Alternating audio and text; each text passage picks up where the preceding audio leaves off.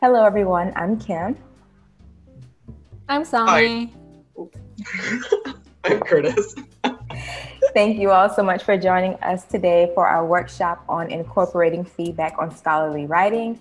The purpose of the presentation is to help you strengthen your writing through providing strategies for responding to feedback and evaluating suggestions that you're given. Um, this presentation is also for those who have already solicited feedback from faculty, peers, or journals and need a, a efficient method for sifting through the suggestions or comments that you're given. So before we offer suggestions on how to address the feedback you're given, we're going to reflect on the different types of feedback that exist. And I do not believe that this is an exhaustive list, but the general forms of feedback typically fall within these broad categories. So the very first type of feedback we have is corrective feedback. And this identifies an action or an approach that should be rectified and likely not repeated again. And this could be a suggestion to change the method of your research or the approach to your topic so that it is more concise for your audience. The second type of feedback that we have is directive feedback. And this is more of an instruction and it tells you what you need to do. For example, a comment might say you need to add the author of the source in your in-text citation. That is a directive. The third type of feedback is interactive feedback. And this encourages dialogue and deliberation. Oftentimes, it asks a question such as Have you ever considered XYZ? And it seeks to gain your perspective and learn your intention for making the choices that you did in your writing. And the last type of feedback we have is evaluative feedback. And this comments on your overall process. And letter grades are considered to be um, evaluative feedback. But comments such as you're well on your way or you're doing an excellent job is also evaluative feedback. So also before diving into the comments you have received, you want to think about the type of feedback you ask for from your advisor, your colleague, or whoever else is serving as your writing accountability. Um, and this will help you to prioritize the feedback that you have received and make your focus much more specific during your revision process. Um, you want to keep in mind that every reviewer, whether from your discipline or not, offers suggestions for changes based on their own experiences and knowledge. And knowing this influences how you receive and make use of the feedback that you're given. Um, on a similar note, many of us determine the topic of our writing according to our personal passions and interests. As such, um, we can have a connection to the work that prevents us from seeing the benefits of an outsider's perspective. However, like the last point suggests, remember that everyone has something to contribute as, as a result of their acquired knowledge and experiences.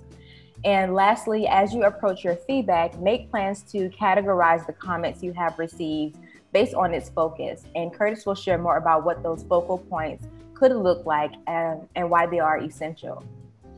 Right, so now we're talking about these different feedback focal points, and what we have here is a list that is organized from the global to local concerns. So those are things that are starting more big picture and then getting down into the nitty gritty, which could be anything like a comma or use of a uh, semicolon. So starting with general feedback, that's going to be things like, oh, this is really great, or this is something that you can expand on and do really well. Generally, these are words of praise or overall statements moving into organization, someone could ask you, why is it that you decided to start with your case study as opposed to starting with a literature review? And this would be a question of how it is that you're presenting the information inside your text and what kind of um, meaning that conveys. Moving down to content, again, you could have a section in your literary review or in your literature review where you are missing a theory or you don't go deep enough into a theory. And if someone asks you to elaborate on that, that would be considered something in regards to content.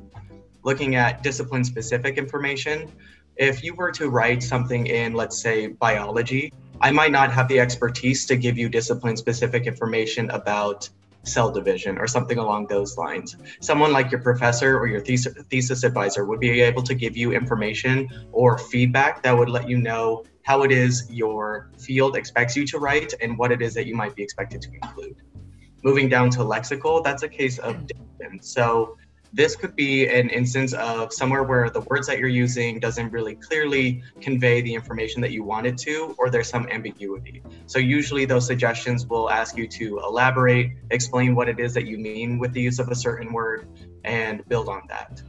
Lastly, moving down to grammatical, again, this is the most local concern, and that's issues such as commas, semicolons. Um, sometimes it can include citations as well, and that's usually the last step of revision in which you're really just trying to polish a piece before you send it off for publication.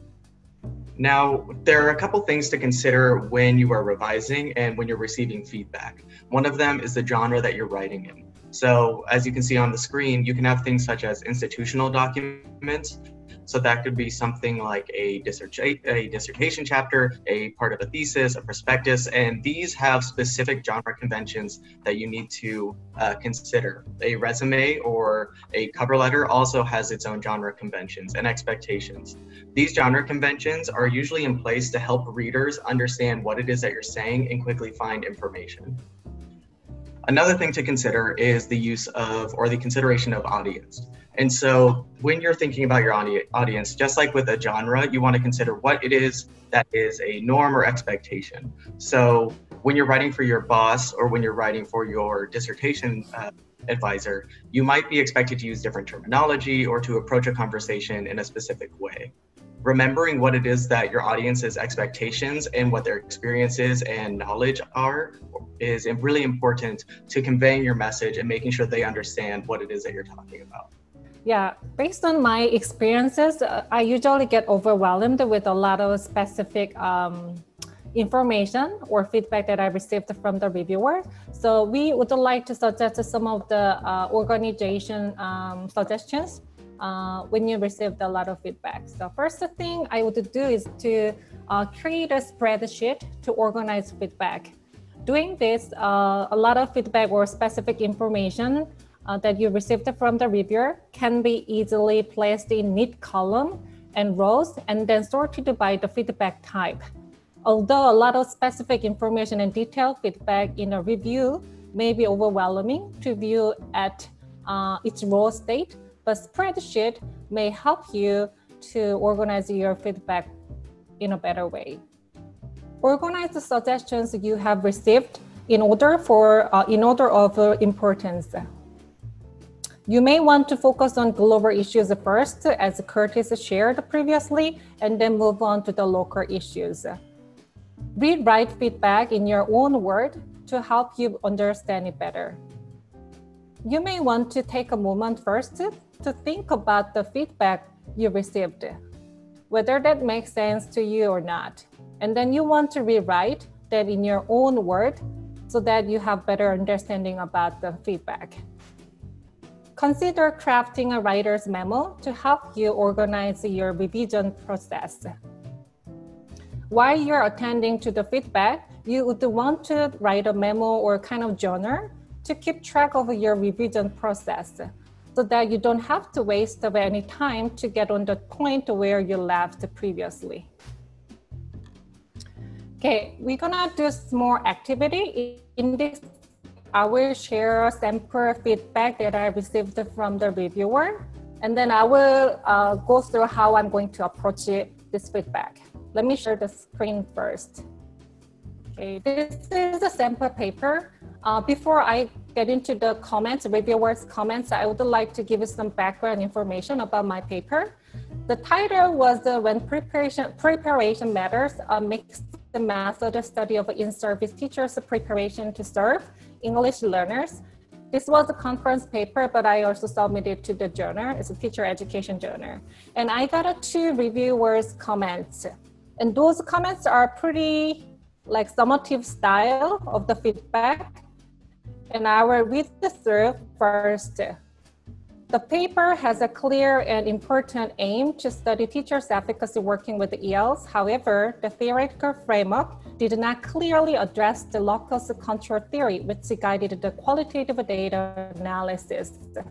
The method and results are not clearly pre presented to allow generalization of findings. For example, the sample characteristics are not clearly described quantitative analysis. Given the small new teacher sample size, the division into four groups is less meaningful. Only descriptive statistics, but no ANOVA was used for. Yeah, this is a kind of summative feedback, but with the kind of details. Second, reviewers commented the two things. First, citation would be better for the definition of self-efficacy. Second, it probably needs support sentences or further explanation for the other construction of self-efficacy, mastery, experience, and needs transitions as well. So once I receive this feedback, as we talked about previously, I will create a kind of spreadsheet. Since I'm going to just use the Word document, I will insert probably just table.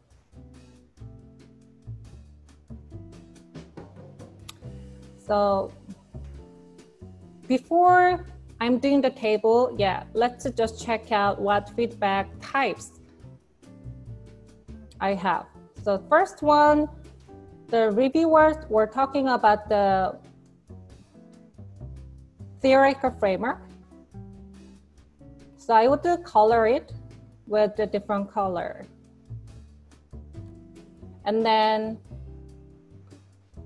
another thing he pointed out method section, especially sample characteristic.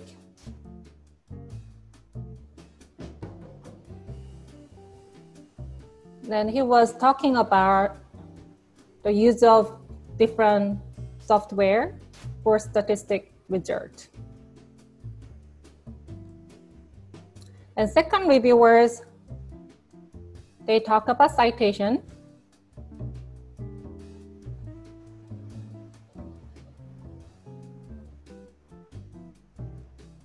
And then better definition for self-efficacy is related to the theoretical framework similar to the first reviewers comment, they asked me some more details about the sentence level. And construction of the self-efficacy mastery experience is also part of the theoretical framework.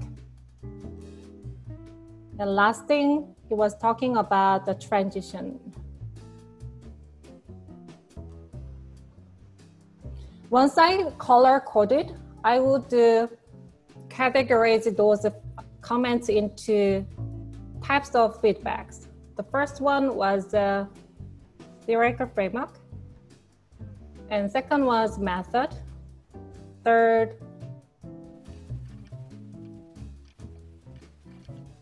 once I categorizes those feedback into uh, themes, and I can just write down what feedback I have from the reviewers. So it was the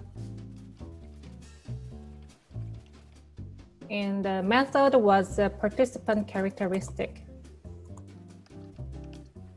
Quant analysis tool was ANOVA. Uh, when I, you're looking at the first uh, theoretical framework, it makes sense to me. So I would definitely add some information about better definition of self-efficacy, focusing on mastery experiences, and method section, yeah, when I look at their feedback, it makes sense to me as well. So I would uh, add more details profile of the participant. However, the third one, ANOVA, the use of the different types of the quantitative analysis tool, since I used the different types, which is uh, which was uh, SPSS, I'm going. I'm not going to follow what reviewers suggested, but I just uh, will explain what type of the software I use for my data analysis. Citation and transition organization also I am going to attend those feedback by adding more citations and transition organization or uh, transition sentences. I think this is pretty much how I'm going to approach how I'm going to approach the feedback that I received from the reviewers. Great. So just like what Sung Ae was sharing, was that a spreadsheet is a really great way to organize the feedback that you receive, especially when you're receiving a lot of comments. So some reviewers might give you inline comments or line by line editing or responses, and that might result in a lot of feedback. They don't even really know where to start. So using that spreadsheet, whether it be a table in a Word document or using Excel, those are great ways to get things organized and put them into categories. That way you can start again from the global and work down to the local. Another concern that we had brought up in our live uh, workshop was how do you not get discouraged when you're seeing so many comments or you're getting an evaluation that says, hey, you're a ways off from where you should be. Um, and I think one thing that's really important to remember is that the people that you're receiving feedback from, whether they be professors, your advisor, or even the peer reviewers for an article that you're submitting, the reason why they're giving you feedback is because they want you to be able to succeed and be able to create the best work that you can. It's not a, an evaluation of saying that you're not capable, it's just saying, hey, we're going to help you get to the place that you need to be to enter the field. So that concludes our workshop for today. I hope you all found the tips and suggestions that were given helpful. If you have further questions or concerns, you're welcome to visit us at the Writing Lab virtually at the moment. Uh, you can go to owl.purdue.edu slash writing lab and one of the tutors will be glad to help you. Thank you all for joining. Bye. Bye.